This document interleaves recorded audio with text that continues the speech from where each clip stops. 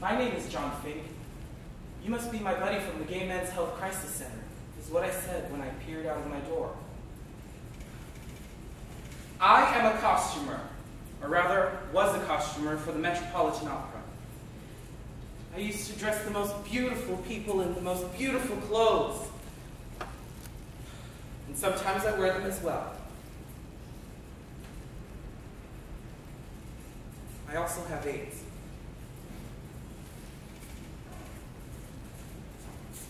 Anyway,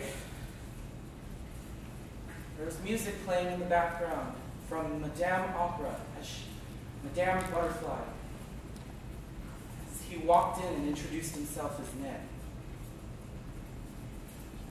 It must have been the first time he'd seen the affliction up close. Because when I was eating the food he brought me, sleeve slipped off my shoulder and I saw the lesion on my chest.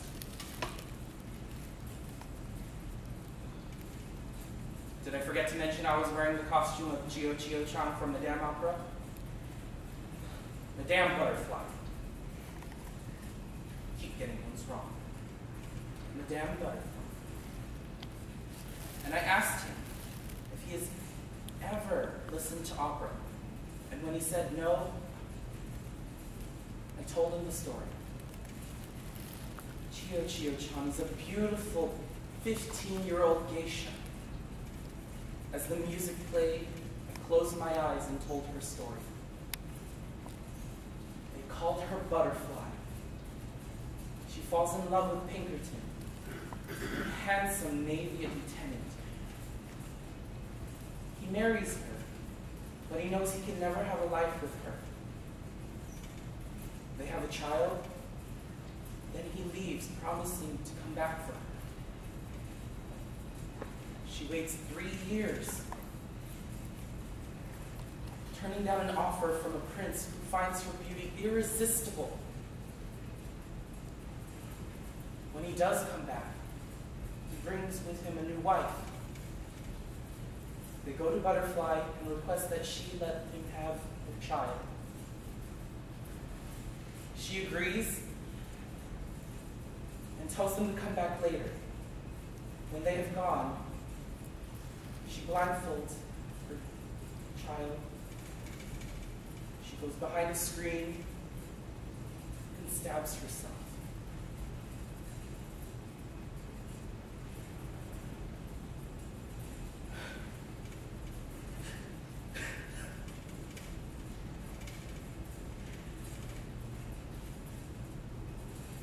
When they do come back, Pinkerton finds her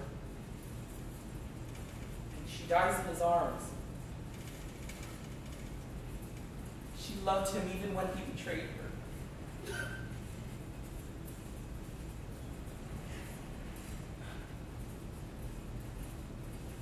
It's too weak to continue.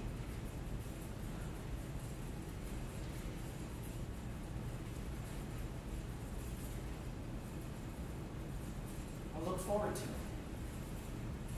When he said, come back every Tuesday and Thursday.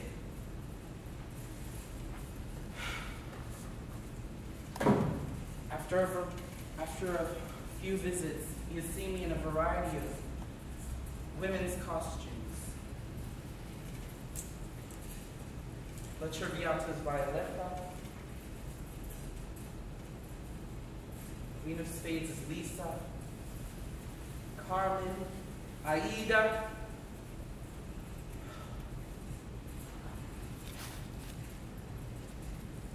Today, I am High Priestess of Irminsul, God of the Druids and lover of Polion, the Roman proconsul and enemy of my people. As always, the music from the opera is playing in the background as I tell her story. Polion has betrayed me, as if I was the character love with a, a young priestess. To avenge my honor, I plan to sit away our two children. But I don't. Instead, I reveal my sins to my Father and go to my death, as demanded by our laws. As I walk into the flames, Polion admits his love for me and joins me. Wait, I wait for the right time in the music to say the prayer of Casta Diva, Norma's prayer to the goddess to stop the impending war. Turn thy fair face upon us, unclouded and unveiled. Temper thou the burning hearts, the excessive zeal of our people.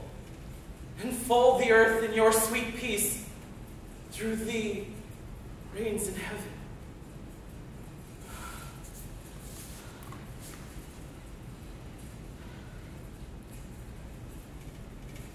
Tell him to take me to my room. It's the first time he's seen it. It was a special day. Now don't tell. I've stolen a few costumes from the Met, but I've made most of them. A couple hundred costumes are all I have to escape the affliction. Every visit, I show him a little more, but I'm afraid it's catching up with me.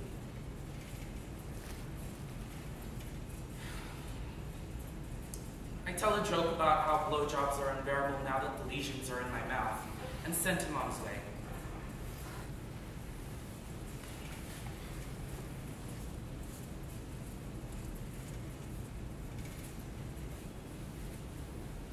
It is a Wednesday. He's at my bedside, and he's talking with the doctor who had diagnosed me.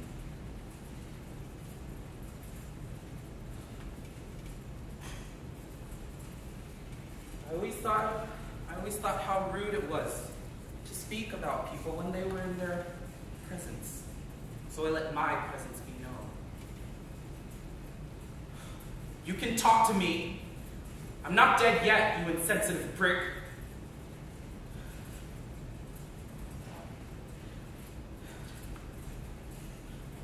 The doctor had left, and it was just the of us.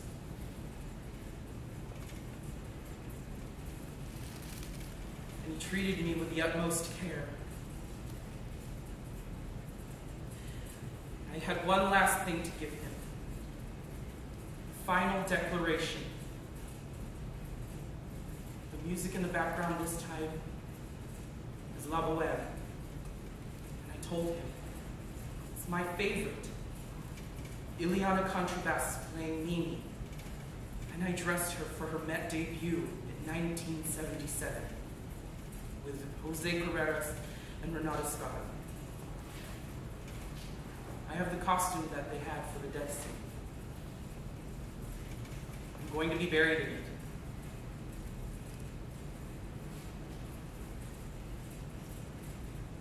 I gave him the tickets for the performance I, I bought for him. And I said, You'll go and you'll tell me everything. The way she sounds, the way she looks, how the halls echo. When the crowd gives her her ovation.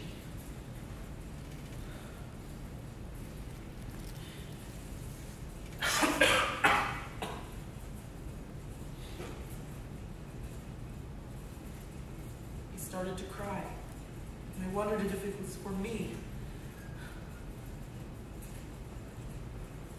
You'll go, you'll tell me everything. He kissed me on the forehead.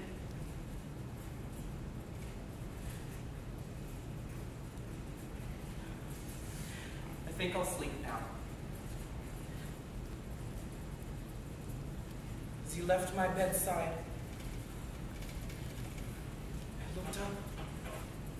And proclaimed it to the heavens. I love you, Ned. And as I drifted into the dark, fearless, and finally without pain.